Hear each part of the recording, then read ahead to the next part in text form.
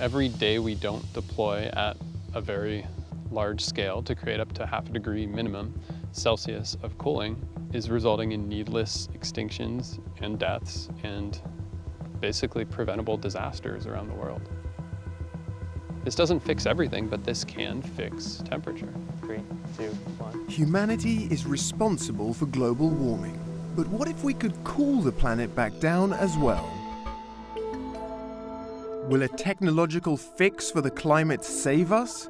Do we see the outlines of an emerging billion dollar industry? Or is it just false hope? This is Backlight. Welcome to the future of planet coolers.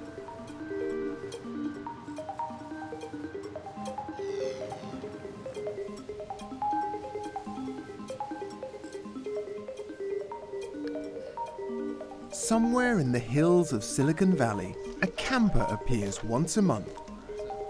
Two DIY enthusiasts are working on the solar radiation management. Okay, ready? Yeah.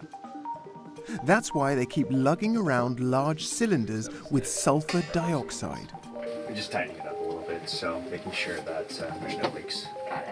They claim they're cooling down the planet. And because it also creates beautiful sunsets, they decided to call their startup Make Sunsets. Today, these two entrepreneurs tell their story on national radio. Yeah, you can barely hear it, but here.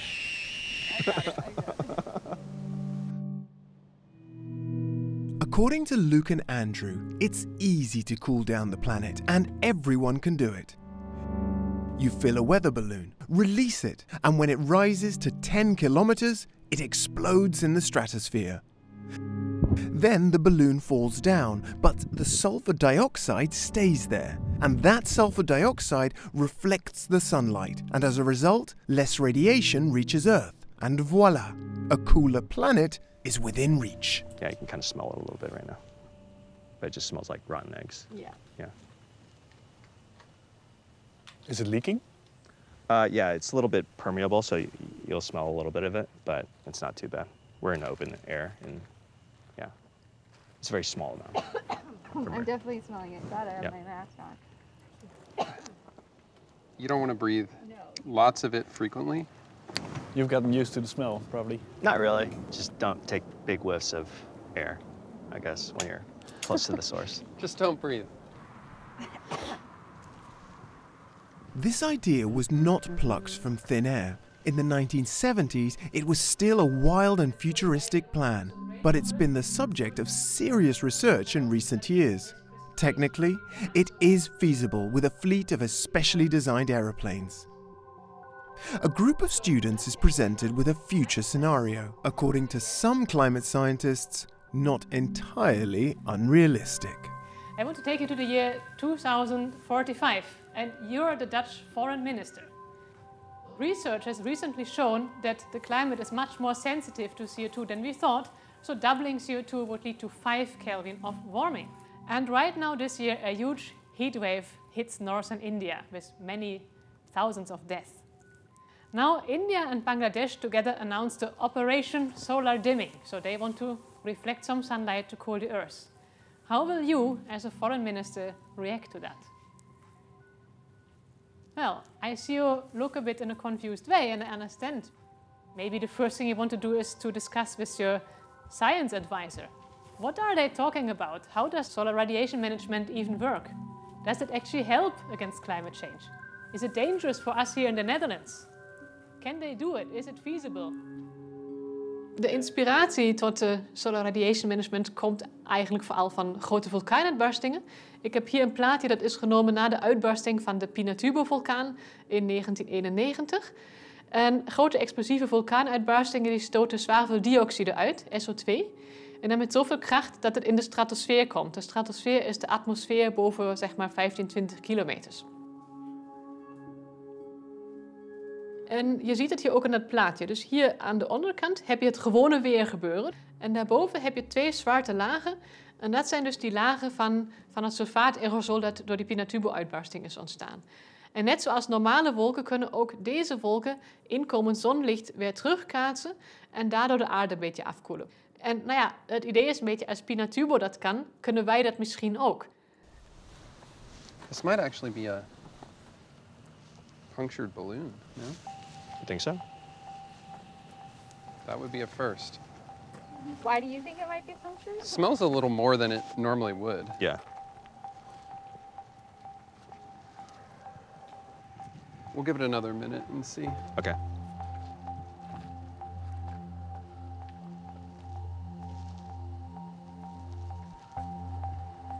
Dit wordt al gedaan, hè? Nee, dit wordt niet gedaan. In eh, Silicon Valley zijn er twee... eh, Oh, die groep. Oh, er is een kleine groep die beweert dat ze dat aan het proberen zijn. Ze gaan nooit en nimmer hoeveelheden bereiken die ook maar iets doen met het klimaat.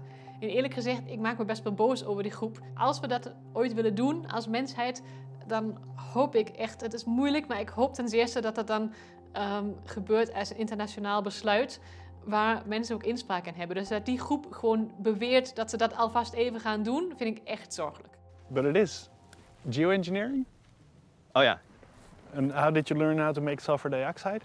Oh, it's super simple. Just burn burn the SO2 in the presence of oxygen. Um, Googled how to make SO2, yeah. It's very very straightforward. So you looked up a YouTube video or something? literally. Yeah. Yeah. Make Sunsets sells self devised cooling credits. Every dollar we donate to them relieves us of our feelings of guilt for every ton of CO2 we emit. What you looking for? Just opening the window. Oh. If it's bothering someone, we have masks as well, like actual acid ones. And what do you buy for 10 bucks? Uh, for 10 bucks, you get 10 cooling credits per month fulfilled for you. And what does it mean? Like uh, how much? Uh, so for 10 cooling credits, it offsets the warming effect of 10 tons of CO2 for you. Our flight was six tons. There you go. So that'd be six bucks. Cheap. Yeah, exactly. Um, that's that's why we're exploring this, like, to even start. It's because it's so inexpensive. It's scalable and it's temporary. Does that mean you want to grow bigger? Yeah, absolutely, absolutely. Yeah. Th- right now, this is these one-offs, but that's why we invited Tom as well because, you know, he he works with a lot of startups, and hopefully we can create some kind of partnership to scale up to corporations and eventually governments as well. Oh,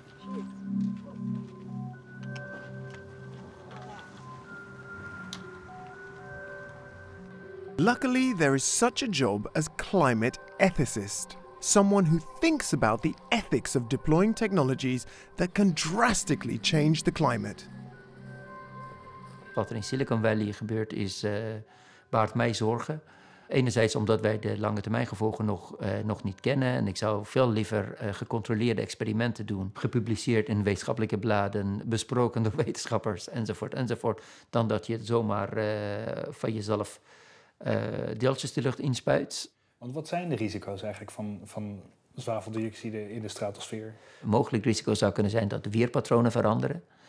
Eh ander risico zou kunnen zijn dat, eh, dat de ozonlaag eh, aangetast wordt. Eh, de risico's zijn niet klein. Eh, de risico's die uit de modellen blijken zijn, zijn heel groot. En er zijn voornamelijk heel veel open vragen die, die beantwoord moeten worden. Het is eh, misschien een ludieke actie, maar als je kijkt naar de plannen van het bedrijf dat daarmee bezig is en het hele businessplan dat daaromheen ontwikkeld is, is het meer dan alleen maar een ludieke actie om aandacht te vragen voor de zaak. Ze geloven erin dat, dat hier een business in zit voor de komende jaren. En dat is, eh, dat is gevaarlijk, want eh, de suggestie wordt gewerkt dat, dat je de aarde kunt afkoelen. We moeten nog heel veel leren over deze methodes. De methodes die op dit moment niet wenselijk zijn, en wat mij betreft nooit als wenselijk moeten worden beschouwd, tenzij we ze heel hard nodig hebben.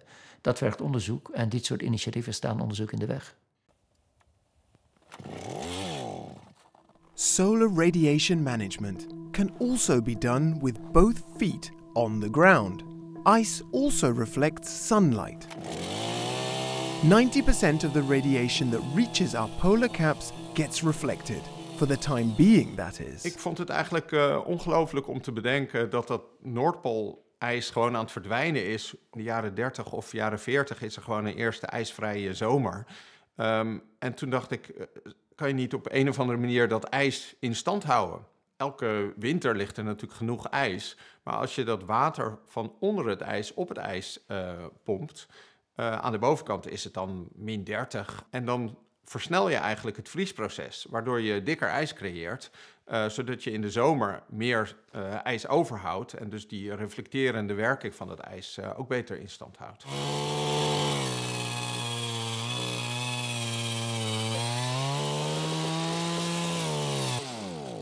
The solution is quite simple, according to Fonger and his colleagues. You drill a hole, put a pipe in it, and start pumping. And because we're losing 100,000 square kilometers of ice every year, they also want to spray 100,000 square kilometers, year after year. 100.000 vierkante kilometer, hoe, hoe, groot zou dat ongeveer zijn? Op nou, dat, dat, is eigenlijk niet zo groot. Dat is eigenlijk een, een gebiedje, uh, nou, zo ongeveer zo groot als zo'n eilandje.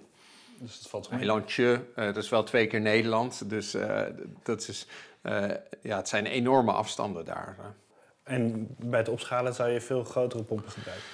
Nou, wij denken dat we met zo'n 100 tot 1000 grote uh, ja, offshore sites um, um, uh, dit, uh, dit zouden moeten kunnen doen. in Nederland hebben we natuurlijk ook een offshore industrie die gewend is ehm, ja, groot, grote projecten te doen. Dingen zoals een palmeilanden opspuiten voor de kust van Dubai. Dus ik denk dat uiteindelijk als, als we kunnen aantonen dat dit echt een uh, positief effect heeft, dat we het ook zouden moeten kunnen organiseren om dit, uh, ja, die operatie uh, neer te zetten. Vind je het in de loop der tijd een steeds minder gestoord idee? Ik denk dat het dat het uh, stap voor stap gaat. Dus eerst was het een uh, wild idee. Toen bleek er uh, toch al wetenschappers naar gekeken te hebben. Toen bleek eigenlijk de technologie al voorhanden. Dus zo stap voor stap denk je, eigenlijk is het zo gek nog niet.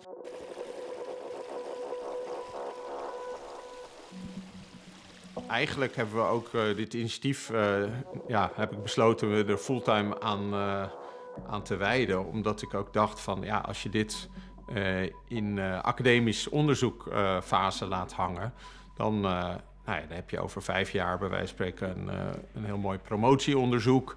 Um, maar dan is het ijs alweer een stuk verder weg. Dus het is echt mijn overtuiging dat je hier ook gewoon praktisch mee, mee aan de slag moet.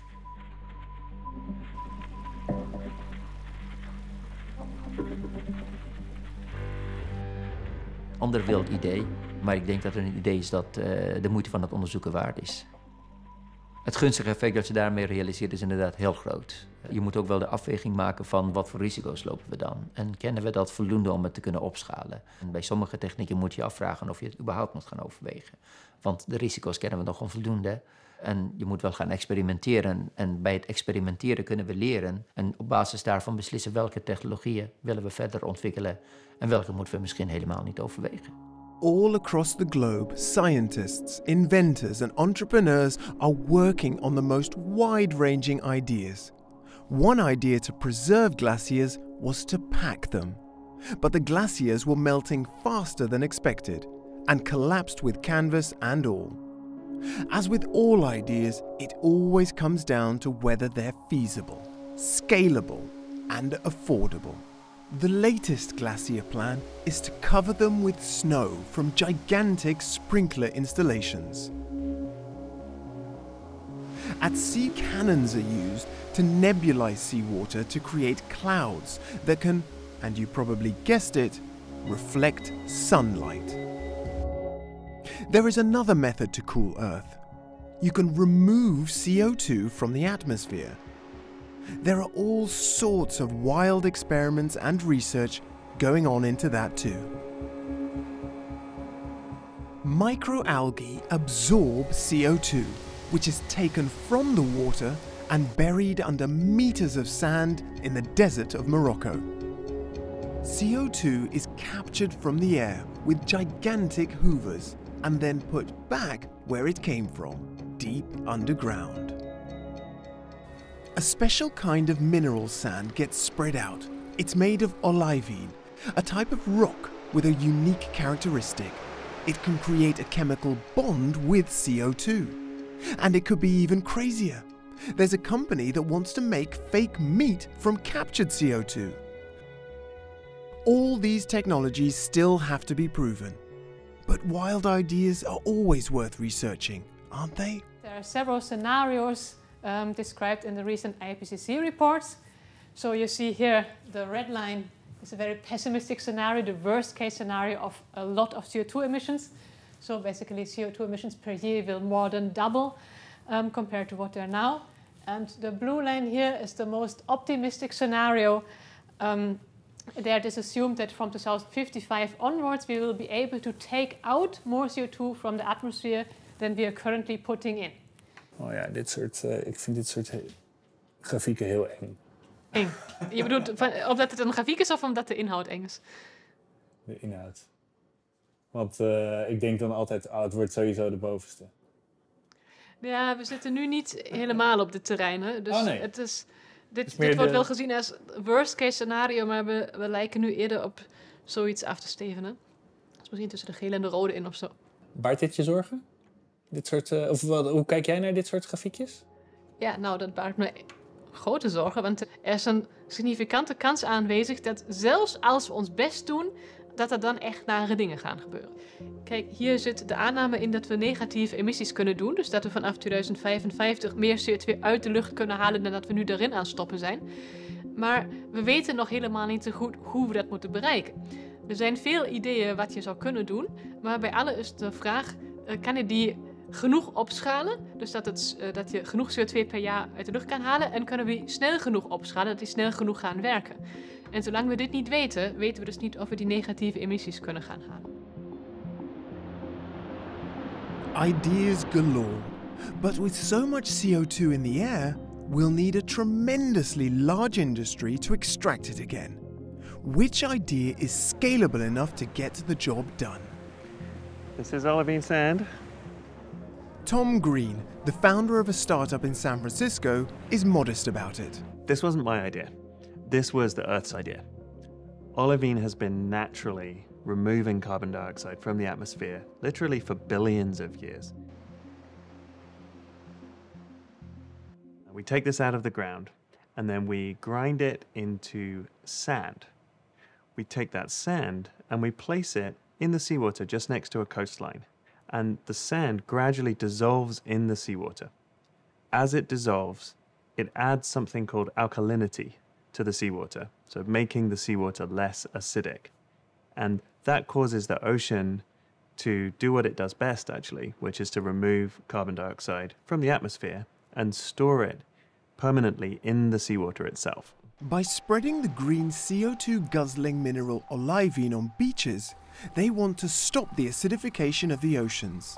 And if we're protecting our shores from a rising sea level anyway, we might as well do that with olivine sand. A win win scenario. But how much olivine sand do we need and where do we get it from? Olivine is actually often found as a waste product from different kinds of mining operations.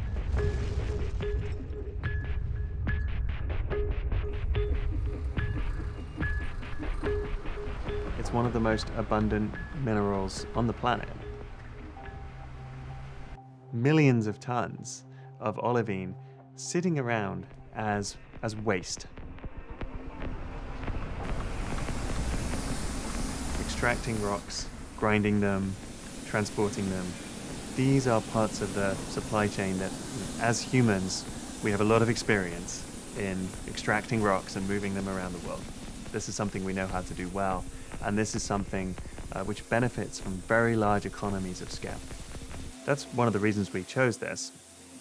At maximum scale, uh, we believe that we will be able to remove a ton of CO2 from the atmosphere for just $21 per ton.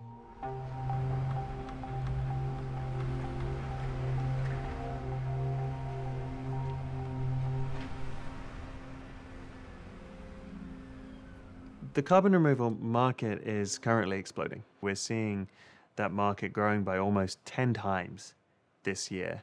There are quite a few companies that have a target to achieve net zero by 2030 and that are buying more and more carbon removal every year in order to get to that point where by 2030 they're having no net negative impact on the atmosphere.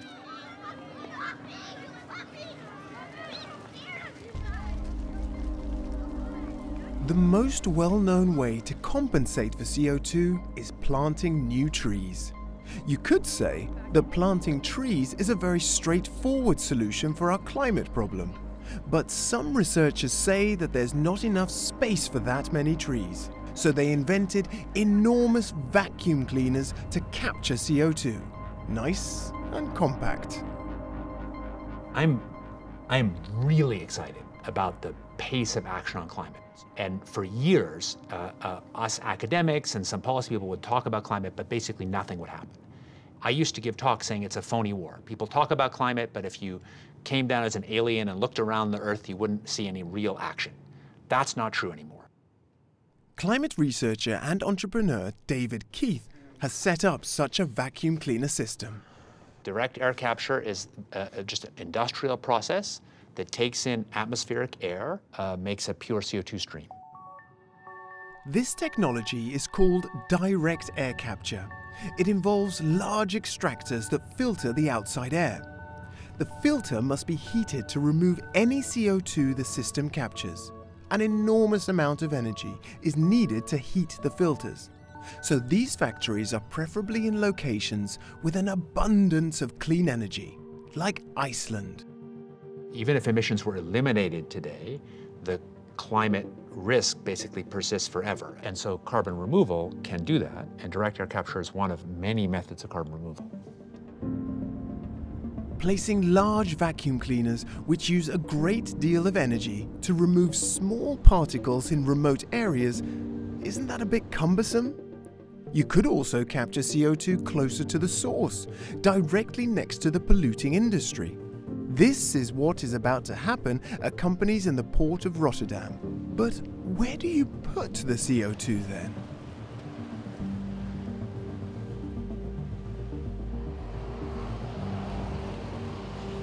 Zo! Dit is normaal van de Maasvlakte. We komen dus eigenlijk uit het oosten. Met al onze, eh, met de CO2 komen we uit het oosten. En hier op deze locatie gaan we de CO2 uh, onder de Harde Zeemering heen. Onder de Maaskul, waar nu die, uh, waar nu die schepen varen.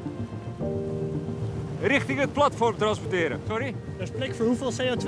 We spreken van uh, 37 megaton aan CO2 totaal. Waar we ongeveer zo'n 15 jaar over doen. Dus 2,5 megaton per jaar zullen we hier onderdoor transporteren richting het, uh, richting het gasveld. Kijk, hier op het kaartje, de display. Zie je globale traject, maar je ziet ook de zeekaart en dat is wel leuk hiervan. Hier is een uh, productieplatform, gasproductieplatform. Hieronder zitten de velden eigenlijk, de gasvelden. En uh, daar wordt het CO2 in geïnjecteerd. Welke bedrijven zijn dat, die, waar dat wordt Ja, hier, hier in het begin zijn er een aantal bedrijven in de Botlek. We hebben vier uh, klanten nu. Exxon, Shell, Air Liquide Air Products. Until recently, it was commonplace to dump your CO2 in the atmosphere. But emissions are increasingly taxed, so companies are looking for ways to reduce those costs. The carbon capture and storage technology offers companies a location for their CO2. They're putting it back where it once came from, deep underground. But does this work? En dus die CO2 die gaat ze allemaal die oude gasvelden in. Kan het niet lekken? Nee. Australia set up Gorgon, a project that cost $3 billion and was discontinued after five years. It had only stored a third of the promised CO2 underground. According to a 2020 study, 100 of the 149 carbon capture and storage projects around the globe have been suspended indefinitely. Nou, Gorgon. Ik kan niet spreken voor alle projecten, maar het klopt. Uh, bij Gorgon zijn er uh, een aantal uh, risico's opgetreden. Gelukkig kunnen we leren daarvan. En ehm, we hebben ze gekwantificeerd en we gaan er ook zeker met die risico's zijn we zeker aan de slag gaan. Ja, ja. Dus het zou een techniek moeten zijn die steeds beter wordt. Klopt, klopt, ja. Jullie beweren wel met de grote stelligheid dat er, dat er zoveel CO2 wordt opgeslagen. Ja. Maar er kan, er kan wat misgaan. Um, Nee, denk ik niet. Ik denk dat we, nee, ik denk dat we op, dit, op dit moment zoals we er nu voor staan. En met de onderzoeken die we gedaan hebben, zien we dat het een, een goed te injecteren put is. We hebben heel veel ervaring met de put, want we hebben natuurlijk al 30 jaar gas, ehm, gasproductie is daar geweest. En als het gasveld vol is? Als het gasveld vol is over 15 jaar, sluiten we hem af. Hoe? zetten we beton in. Meters beton. En niet enkele meters, maar honderden meters beton. En daarmee sluiten we hem af. Oké. Ja. Potdicht. Potdicht, ja. En dan hopen dat het erin blijft. En dan weten dat het erin blijft. Making this show took tons of emissions. We store millions of tons in former gas fields, and we emit dozens of gigatons on a global scale. The amount of tons is dazzling and almost incomprehensible. On a planetary scale, uh, here's the scale of the problem. So we are humans. We're causing the emissions of about 40 gigatons, so 40 billion tons of carbon dioxide into the atmosphere every single year. That's too much. We've been doing that for many years. There's approximately a trillion tons of excess carbon dioxide in the atmosphere already sitting there. So we need to do two things. We need to reduce emissions and we need to bring them all the way to zero by about the middle of the century. And we also need to take care of the fact that there's just too much carbon dioxide already sitting in the atmosphere. And that's where carbon dioxide removal comes in. We're going to need somewhere between 5 and 10 billion tons per year of carbon dioxide removal. So this is a very large scale problem and we're going to need multiple solutions and multiple solutions that can scale. When we just look at direct air capture systems, how many of that do we need? This square represents the amount of emission an installation can currently capture. These squares represent the amount of emissions the installations that we are now going to build should be able to process. By 2030, we're going to need many more of these installations. As many of these squares. Then we'll have to build about 30 more of these things every year until 2050. All of this is good for capturing 1 gigaton of CO2. To put this in perspective, we emit no less than 40 gigatons of CO2 per year. This is in addition to the 1,000 gigatons of excess CO2 that's already in the atmosphere. Is dat veel? Dat is heel veel, ja. Wie zouden moeten kunnen beslissen over dit soort technieken? Wie over deze technieken beslissen die over de hele aarde gaan, dat is de, de million dollar question van, uh, van, van deze toepassingen. Uiteindelijk uh, ben je met z'n allen, alle landen verantwoordelijk voor de aarde en de beslissingen daarover. Maar we weten hoe de machtsstructuren werken of hoe de machtsstructuren eigenlijk wel scheve besluitvorming kunnen veroorzaken. En wat mij betreft nog grotere zorg is dat het helemaal uit handen van de overheden gaat en dat uh, private partijen zich ermee gaan bemoeien. maar dan, dan heb je er helemaal geen controle meer over. It's going to take a while before we can all live a sustainable and circular life. The way things are looking now, it seems that we'll have to rely on oil companies for the time being. But those oil companies have to start compensating now. And that is why they've devised a new plan. They're investing in CO2 capture technologies. So you were the founder of, uh, of the company Carbon Engineering? Yep. But uh, I understood that it's sold to uh, an oil company, yep. uh, petroleum, yep. Uh, Occidental Petroleum. Yep.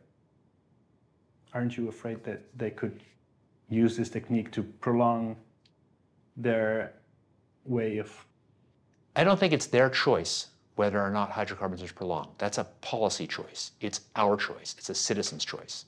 So in the end, oil companies, at some level, do what the political environment tells them to do. So, from my perspective, uh, I, I, think so. Um,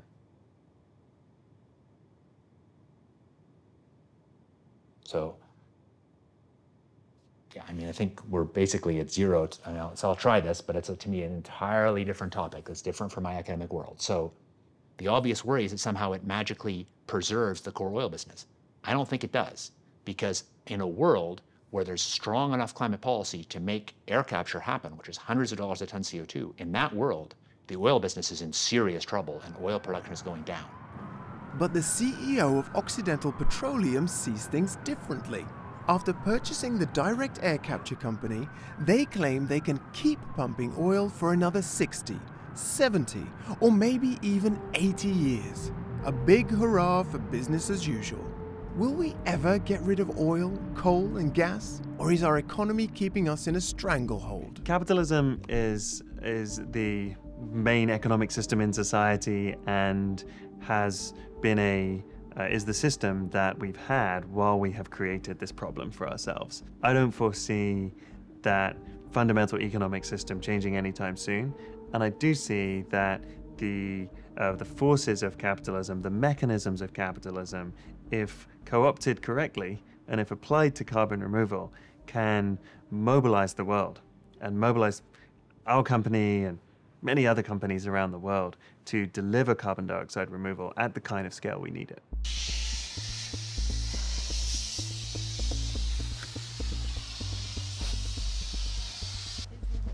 They're so much fun. Do you want to let it go? I'll let you do it. Three, two, one. Eleven oh five. 1105, okay. Technology got us into this problem, and technology will get us to muddle through it as it always has. Yeah. Aren't you scared that you would accidentally cause any ecological disaster? I, we're, the world is doing quite a good job of intentionally causing an ecological disaster with our carbon-based geoengineering. What we're doing stays up for two years. It's the same thing that volcanoes output, and we have millennia of a natural record of what it does. So people are scared of new things until they become a bit more normalized, and this is, you know, somewhere in that process of being normalized. Sunscreen for Earth is, is, the, is the best way to describe it. Just put some on your, on your skin and you don't get skin cancer. And so location and quantity matters. You know, obviously you don't drink the sunscreen. You just apply it as used.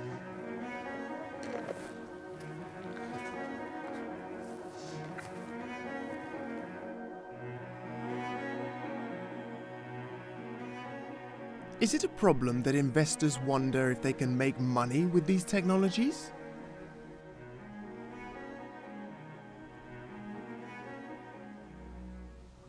In the north of Sweden, a scientific test with weather balloons was supposed to take place. The Sami, the last indigenous people in the EU and the inhabitants of that region, protested when they heard about it. And the scientist that was about to conduct this test is a familiar face.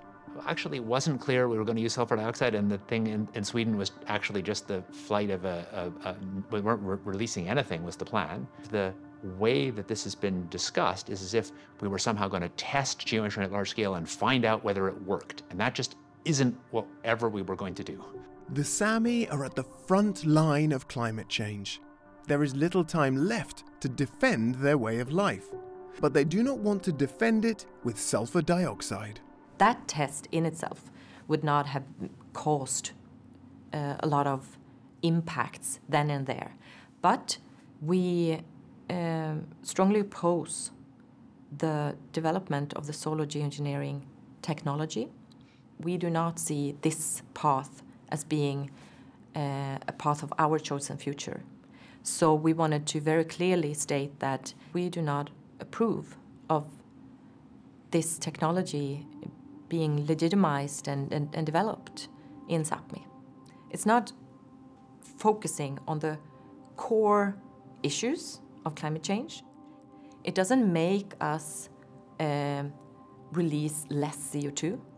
What it does is for us to uh, handle the consequences of climate change, more or less. I think a headline in The Guardian saying how Bill Gates wanted to block out the sun. So you'd think it was a bit blown up in the media? Oh, it was enormously blown up in the media. There were ideas that this was like a next step to deployment where in fact the amount of material that we were talking about releasing, even in, we weren't actually going to release anything in that flight in Sweden, but the amount that would be released in a SCoPEx experiment is about a, a kilogram of material. and that's less than a conventional airplane like you flew on uh, uh, releases in a single minute of flight.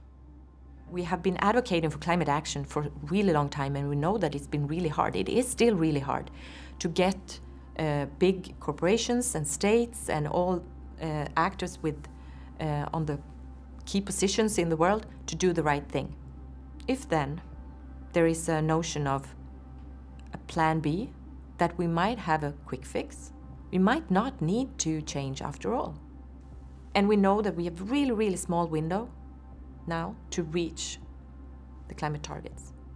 So what if then some of these states, big corporations that we know have huge impact, uh, just sit down a bit and say that, well, let's just wait a bit longer. Maybe we don't have to. That might be the one thing that actually makes us not reach the, the climate uh, targets. I think what's happened is these experiments have kind of become a proxy for the larger fight about whether we should take this technology seriously at all. What do you think about that? Um, I think that's a legitimate point of view, but I don't think it's a convincing or just point of view. Which is something we should discuss. Absolutely, which is something that people should actively discuss. That's the healthy discussion is, ought we to take this seriously? How should we govern it? Should there be a research program? What it should look like? That's the right discussion. So the climate is changing faster in the Arctic than anywhere else. Yeah. Are you opposed to any kind of tech fix? We need technology, we need research. That's uh, because we can't go back. We need to find a more sustainable solution for the future. And that means that we need all our good researchers, uh, all the technology that can help us in that direction. But we need to focus on the core, uh, what we are using technology and research for. We cannot forget also that we have traditional uh, knowledge and we have the indigenous knowledge all around the world that still have in their cultures and in these knowledge systems embedded the circular economy and the sustainable way of life. So, in my view, we should uh, combine the science uh, with the indigenous knowledge. And that, for me, would be the best available knowledge. Are you frustrated about that we're having the wrong discussions? Yeah, of course. I think it would be better if people talked more clearly about the environmental and social risks of, of, of these technologies against not doing them and more kind of realistically about how government decisions might get made. Should we do research or not? Who benefits from all these technologies? According to Jeroen Oomen, a colleague of Claudia's, we should be more wary. All right, welcome everyone. Welcome to uh, the debate that Claudia and I are going to have about climate engineering. What we really want to show you in the course is that every path forward, even technological ones, are really controversial.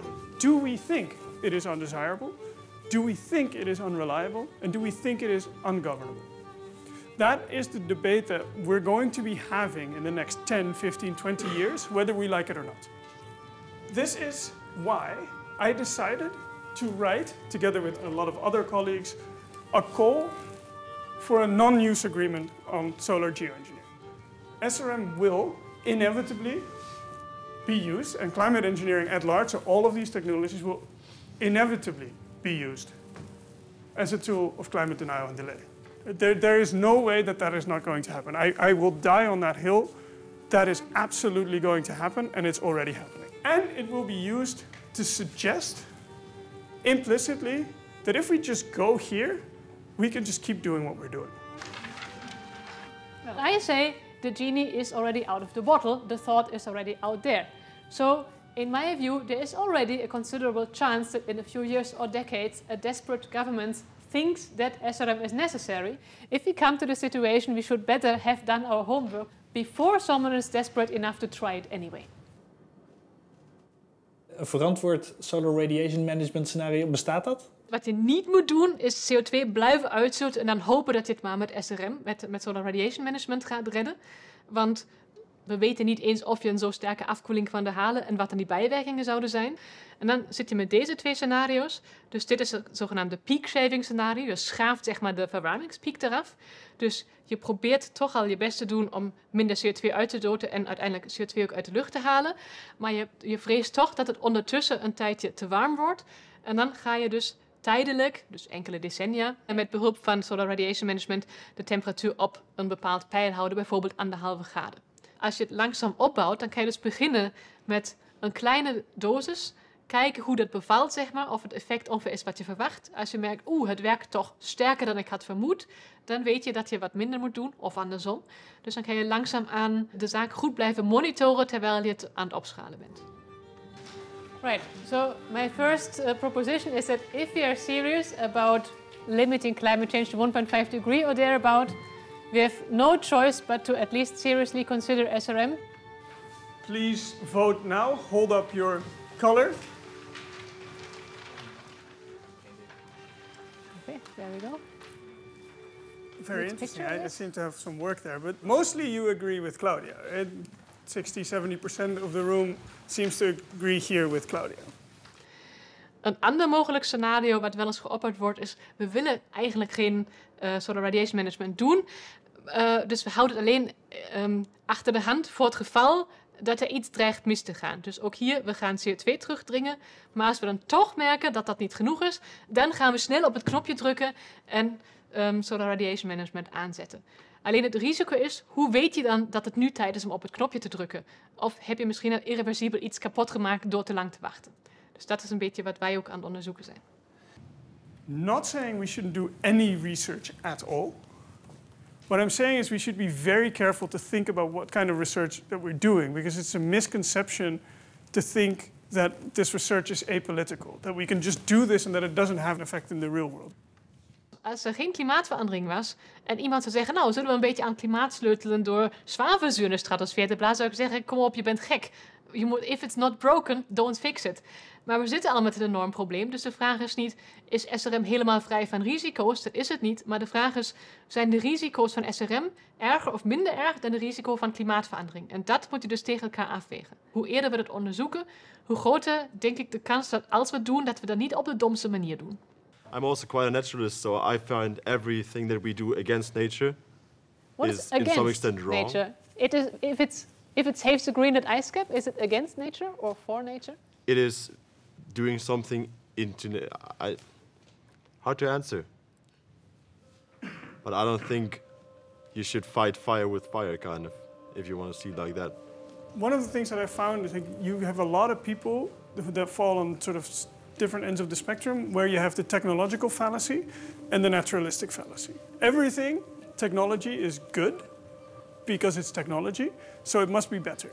Anything natural is better because it's natural. And that often, then when, when people challenges you on it, leads to a situation where it's very hard to actually explain, well, what is the precise point here? Should we not be careful to be too dead set on technology? What if the best way to restore nature is nature itself? Should we not spend all of those billions of dollars on that? So far, nature has proven to be the only working solution that can capture CO2, and it does this very efficiently as well. For instance, trees. If we were to plant an area the size of the United States with trees right away, we could capture 205 gigatons of CO2 in the coming decades. That is something techno fixers can only dream about. Forests, mangroves, wetlands, but also the oceans are the most obvious candidates to capture CO2. But we're destroying them at the moment. That's why Emily and Thomas want to start restoring a part of the North Sea. De natuur doet het al heel lang heel goed zelf, zonder onze hulp. Ehm, maar eh, nu heeft ze onze hulp nodig om, eh, om dat goed te kunnen blijven doen. We hebben zo lang zoveel natuur kapot gemaakt. eh, dat we daarmee ook onze eigen, onze eigen leefgebieden kapot hebben gemaakt. Die hele Noordzee samen is een giga klimaatbuffer. Alleen als je wil dat die klimaatbufferende werking er is, blijft en dat die wordt vergroot, dan moet je dus gaan kijken van hoe gaan we die zeebodem beschermen en herstellen. Het neerslaan van koolstof in de bodem, dat kan de zee heel erg goed. En dat doet de zee al heel erg goed voor ons. Die vangt al uh, heel veel voor ons op. Maar als je dat gaat verstoren en je gaat dus dingen bouwen, je gaat dreggen, je gaat sleepnetvisserij doen, ja, dan breng je die koolstof weer omhoog. Dat reageert natuurlijk uh, met zuurstof, dan krijg je uitstoot van CO2 en dat gaat dan de atmosfeer in. En daar moet je eigenlijk voor zorgen dat je bodemrust creëert.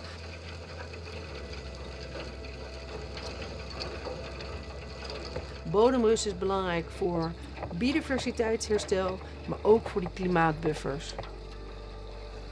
Klimaatbodems eigenlijk op de, op de Noordzee moet je gaan herstellen. Two years ago, Emily and Thomas started an experiment. They want to see if life would return to the seabed by placing sandstone reef structures on the barren plains of the North Sea. And it works, even better than expected. Now they have their minds set on protecting Dogger Bank, a huge sandbank between England, the Netherlands and Denmark. Thomas en ik hebben 15 jaar met, met andere natuurbeschermingsorganisaties gewerkt om dit stukje in Engeland uh, vrij te waren van, van de bodemsleepnetvisserij. Wat je zal zien is dat je vrij snel bepaalde soorten gaat terugzien komen. En op de lange termijn wordt dat steeds rijker, steeds complexer.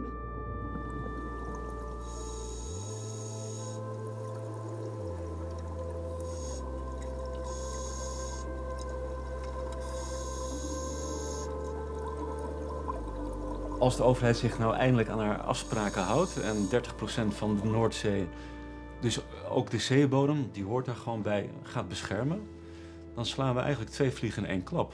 Dan gaan we de natuur beschermen en herstellen. En die gaat dan tegelijkertijd als klimaatbuffer voor ons werken. Wat wil je nog meer?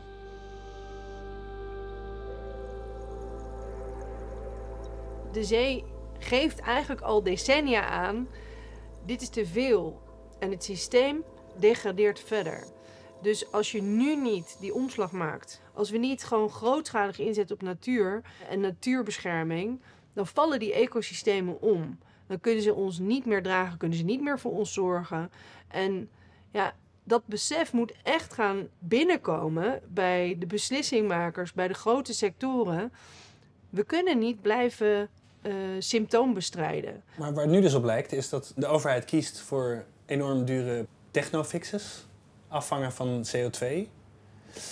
Maar de natuur laat ze links liggen. Ja, dat is een hele interessante. Het is het eeuwige dilemma, denk ik. Uh, die is gekomen met uh, enorme technologische ontwikkeling. Wat je in Nederland ziet, is dat de natuur als een soort stakeholder wordt gezien. Dat hij moeilijk kan gaan doen en allerlei projecten kan bemoeilijken. En eigenlijk als een soort hindermacht uh, wordt beschouwd. Maar we moeten juist een, een omslag in dat denken hebben waarbij wij onderdeel zijn van natuur en afhankelijk van natuur. En de natuur ons moeten laten helpen om onze eigen problemen op te lossen. Het is een investering. Het is een investering in onszelf. Zo cool, zo cool. Wat was dat cool, hè? Ja. Ja, zoveel jaar gewerkt. En uh, veel mooie oesters gezien. Deze dames onder water.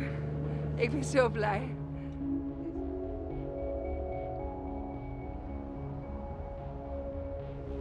Large scale intervention in natural processes is still very controversial. But actually, we've been doing just that for a very long time. The amount of greenhouse gases we release into the atmosphere on a daily basis changes the climate to such an extent that we don't know what the Earth will look like in a few decades. I mean, I think that no one should be allowed to do geoengineering, frankly. I think we should have a global price on carbon. We should have had it back in the 90s, and then we wouldn't be in this mess. Um, but we don't, and until we have meaningful international collaboration and action on holistically managing our climate, you know, we need direct action far more extreme than this. And every day we don't have that, needless species go extinct and people die. Basically, techno fixers and nature fixers agree with each other. Our situation is critical. But does that make every wild idea worth exploring? Or is that only delaying the fundamental changes that are needed? Uh, people don't really want to change their way of life. We would so like to have uh, someone tell us that you don't need to, to change. We can live on as we do. and that, I think, is a huge mistake because people now need to understand that we need to change, but it might not be a change to, to the worse. It can be if we change and adapt in a controlled way, it can actually be a change to the, to the better.